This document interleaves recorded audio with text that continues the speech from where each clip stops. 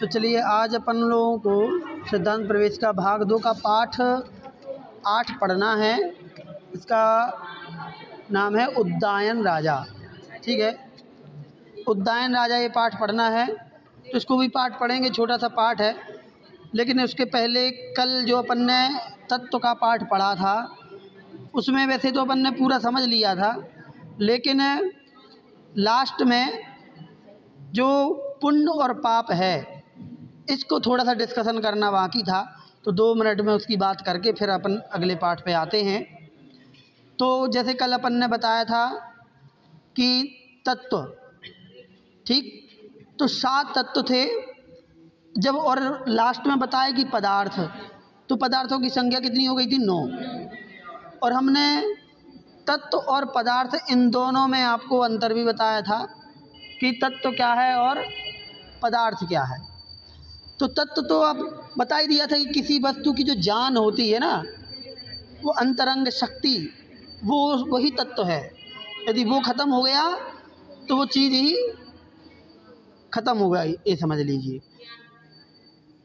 और पदार्थ क्या कहलाता है? जब जिस चीज़ को हम जानते हैं और नाम लेते हैं, वो पदार्थ कहलाने लगता है।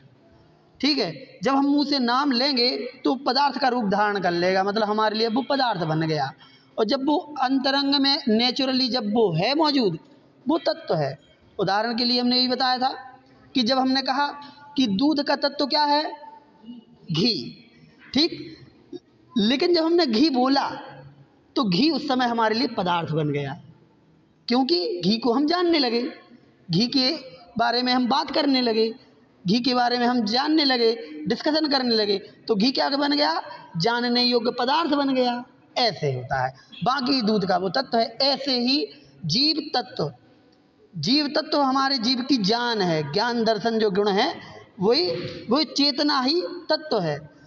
तो जब तक वो नेचुरली मौजूद है, जब बात नहीं कर रहे वो तो अपने आप में तत्व है ही वो तो तत्व तो तत्व है। लेकिन जब हमने कहा कि ये जीव तत्व है तो जब हमने जीव तत्व नाम लिया, उसके बारे में आपसे बात की तो जीव तत्व पदार्थ का रूप हो जाएगा, वो पदार्थ कहलाने लगेगा, क्योंकि पदार्थ को ही हम जानते हैं। पदार्थ को ही हम जानते हैं, पदार्थ नाम से ही हम जानते हैं। तो बस ये चीज़ होती है। फिर बाद में सातों तत्वों को हम पदार्थ के रूप में जानेंगे। जीव तत्व को जब जानेंगे तो जीव पदार्थ कहलाएगा। ठीक? ऐसे ही सातों तत्वों को जानेंगे। फिर बाद में क्या करेंगे? दो तत्व और दो पदार्थ और जोड़ दिए, पुण्य और पाप। ठीक? तो जिनसे हमें इष्ट की प्राप्ति होती है, सुखों की प्राप्ति होती है, मनमाफिक वस्तु मिलती है, जीवन में सुविधाएँ, सुख सुविधाएँ मिलती हैं, वो पुण्य कहलाता है। और जिनसे हमें दुख की प्राप्ति होती है, अनिष्ट वस्तु की प्राप्ति होती है, ऐसी चीज़ें ऐसे उस पदार्थ को बोलते हैं पाप, ठीक? तो पुण्य पदार्थ और पाप पदार्थ, ये दो पदार्थ हो गए। अब इनकी दोनों की ये भी थी कि कैसे पुण्य कैसे होता है, पाप कैसे होता है? तो धर्म का पालन करना, व्रतों का आचरण करना, ठीक है? परोपकार, शिक्षा प्रचार, ये सब देव पूजा आदि, ये सब धार्मिक क्रियाएँ हैं, ये पुण्य का संचय करने का साधन है। और साथ में इनसे विपरीत यदि जाएँगे तो पाँच पापों में लिप्त होना व्यसन करना ठीक है? और निंदा करना ये सब चीज़ें क्या हैं? पाप बंद का कारण है। तो इन दोनों को भी आपको रखना है कि पुण्य कैसे बनता है और पाप कैसे बनता है इसलिए हम आज ये पाँच मिनट अलग से इस चीज़ पे फिर से बता रहे हैं। ठीक है? क्योंकि इस प्रश्न ऐसे भी प्रश्न बनते हैं। ठीक है? तो बस इन चीज़ को या, आप याद रखिए। अब अपन आते हैं अगले पाठ पर। पाठ का नाम है उद्दायन राजा।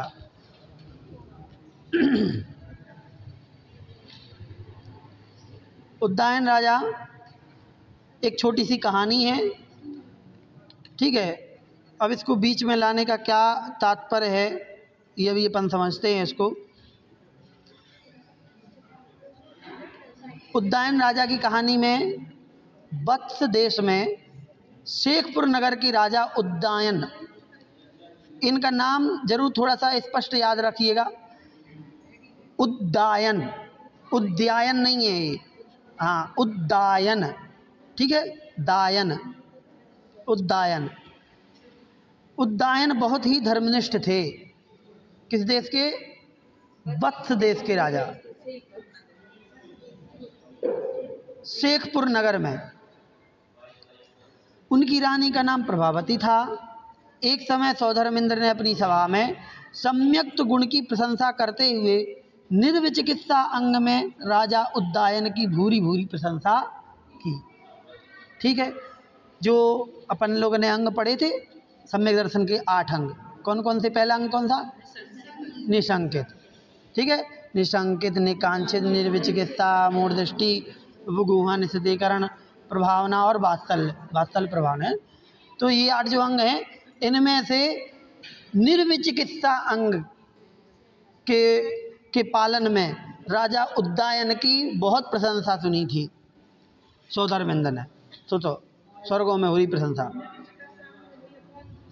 घृणा ना करना, घृणा ना करना।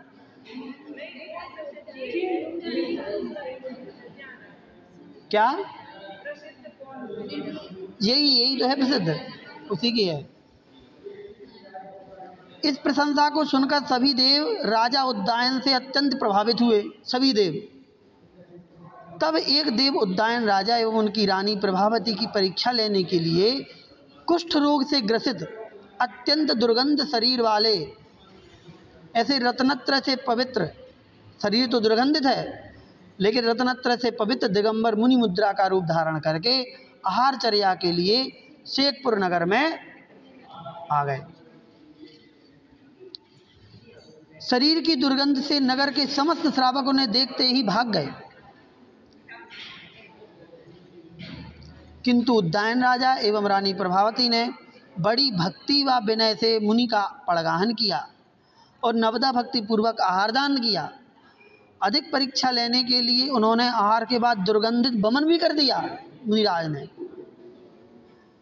जिसकी बदबू से महल के सभी दासी दास भाग गए। किंतु उद्दायन राजा और रानी प्रभावती विनय से मुनिराज की शुश्रूषा करते हुए अपने ही आहार दान की निंदा करने लगी।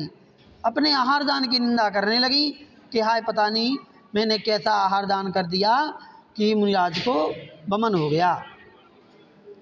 तभी अचानक वह मुनि वास्तविक देव पर्याय में प्रकट हो गए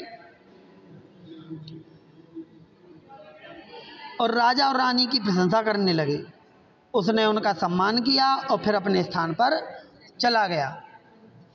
कालांतर में राजा उद्दायन संसार तथा भोगों से विरक्त होकर के कर्मों को नष्ट कर मोक्ष चले गए और रानी प्रभावती ने आगामी पर्याय में स्वर्ग प्राप्त किया। इसलिए हमें कभी भी अपने देवशास्त्र गुरु के स्वरूप को देखकर ग्लानी नहीं करना चाहिए, बल्कि अटूट श्रद्धा के साथ अपने कर्तव्य का पालन करना चाहिए। तो उद्दायन राजा की कहानी निर्विचिकित्सा अंग के लिए प्रसिद्ध है, क्योंकि निर्विचिकित्सा अंग कहलाता है कि मुनितन मलिन न देख घिनावे। मुनितन मलिन न देख घिनावे। मुनियों के मलिन शरीर को देख करके घृणा नहीं करना। तो उनके शरीर पर कुष्ठ हो गया। ऐसे कुष्ठ रोग से युक्त दुर्गंधित शरीर वाले मुनिराज को भी जहाँ कोई पड़गाहन करने के लिए तैयार नहीं था, ऐसे उन मुनिराज का उन्होंने पड़गाहन कराया, आहार दान दिया। उसके बाद भी जब उन्होंने बमन भी कर दिया, तब भी किसी ने उनकी सेवा नहीं की, साफ़ नहीं किया वो सब। लेकिन उन्होंने बिना किसी घृणा के बिल पूरा उनको साफ़ किया, स्वच्छ किया।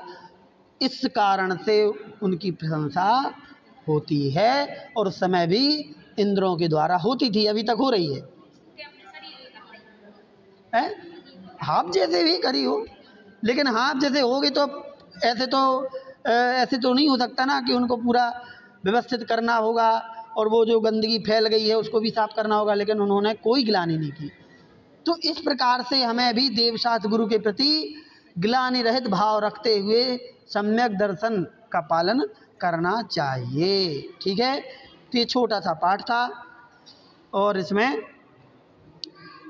उद्यान राजा किस देश के नगर, किस नगर के देश के किस नगर में राज्य करते थे? तो बत्स देश है और शेखपुर नगर है। देव ने कैसा रूप बनाया? हाँ कुष्ठ रोग से युक्त ऐसे दिगंबर राज का रूप बनाया। राजा उद्यान रानी प्रभावती आगे कहाँ उत्पन्न हुए? हाँ आगामी पर्याय में स्वर्ग प्राप्त किया। ठीक। देखो, राजा तो मुख चला गया, रानी प्रभावती स्वर्ग गई है है ना, ये चीज़। राजा कर्मों को नष्ट करके मुख चले गए और रानी प्रभावती आगामी पर्याय स्वर्ग में, क्योंकि वो मोक्ष जा नहीं सकती थी। देव मुनि बनकर आहारचर्या के लिए किस नगर में आया था? शेखपुर नगर में ही, ठीक है? किस अंग में राजा उद्यान की भूरी भूरी प्रशंसा हुई? हाँ निर्विचिकित्सा अंग में, ठीक है? चलिए। तो ये पाठ अपना यहाँ पर पूरा हो गया।